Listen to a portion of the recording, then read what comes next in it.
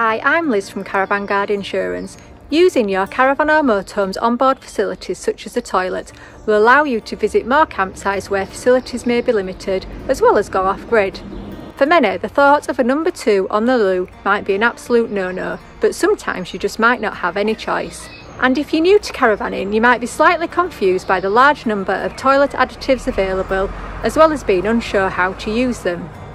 So in this video, we'll show you how to prepare, use, empty and maintain your caravan or motorhome's toilet cassette. You might also find this video useful if you're about to start using your onboard facilities for the first time and you're worried about smells and hygiene. So let's start with the basics. What is a chemical toilet? Unlike most toilets at home, chemical toilets do not flush into a sewer system. Instead, Toilets in caravans, motorhomes and some boats empty into a cassette which is then removed and emptied at a chemical waste point. These are sometimes known as Elsan points. The toilet cassettes are prepared with chemicals before use and if you visit a caravan accessory store you'll see many chemicals are on the shelf for the toilet. So what do these different chemicals do? There are two common coloured chemicals, these are blue and pink. The blue chemical is used in the toilet cassette to help break down any solids and to neutralise any odours. Pink chemicals are used in the flush tanks of some caravans. This helps keep the toilet fresh and smelling pleasant. You'll also notice various other colours including green and purple. Green chemicals are an alternative to the blue additives and they're ideal for environmentally conscious campsites or those that use septic tanks. More and more campsites now require the use of green toilet fluids as they try to limit their environmental impact on the surrounding areas. It's worth checking with your campsite before you visit to see if they have any limitations on which chemicals to use. There are other chemicals that you'll see on the shelf and we'll cover those later, but right now let's go through how to prepare the chemical toilet. Each toilet chemical will have instructions and guidance on the strength and dilution of the additive. So, remove the toilet cassette from the housing and unscrew the cap. Inside the cap will be clear markings for measuring out the blue or green chemical. Once measured, pour in and add the correct amount of water to the solution. Then simply replace the cap and reinsert the cassette into the caravan or motorhome. On some caravans you can also top up the flush tank too, Fill with water and add the flush additive here. If your caravan does not have a flush tank but you would still like to use the flush additive, simply mix up a small amount in an old drinks bottle and keep next to the side of the toilet. Or you can buy a ready mix spray bottle for the same result.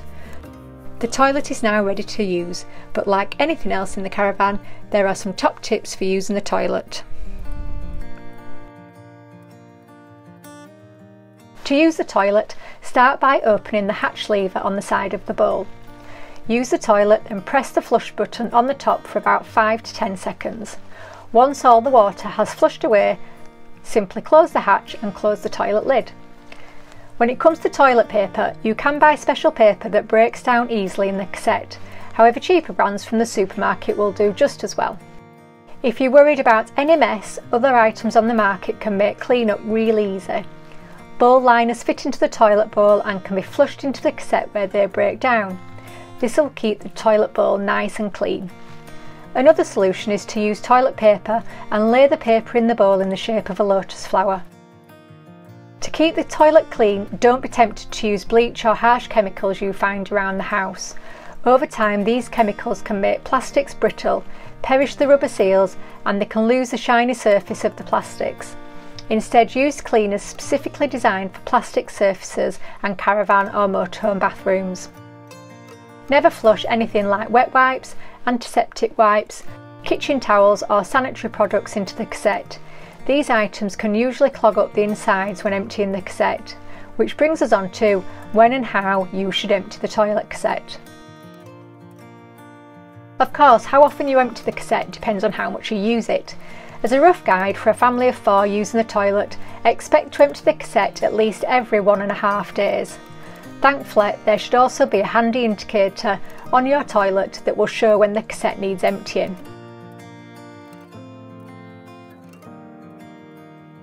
To empty the toilet cassette, make sure the hatch lever is closed. You won't be able to remove your toilet cassette without doing this. Then pop outside and remove the cassette from the housing. Some people like to wear gloves to keep hands clean. Take the cassette to the nearest service point or chemical waste point. Extend the neck of the cassette and remove the cap. Now place the cap in a safe place away from the drain. You'll be amazed how many are lost at this point. Press the small button that allows air into the cassette and gently pour the contents out. Once empty, refill with water and gently agitate the contents. Try not to be too aggressive. Empty the cassette and repeat this process until the water runs clear. The cassette is now ready to be prepared as before. And remember, after emptying the toilet cassette, always wash your hands thoroughly as well as after using the loo. At the end of the holiday, empty the cassette as normal and also make sure the flush tank is emptied too. Depending on your flush tank will depend on how to drain it down, so look at your user manual for more information. It's important that the flush pump is run to remove any liquid from inside the pipework, and this will also reduce any frost damage during the winter months. If you do have lots of flush liquid left over in the tank, don't waste it. Instead, empty the flush into an old water bottle and this will be perfect to reuse on your next holiday.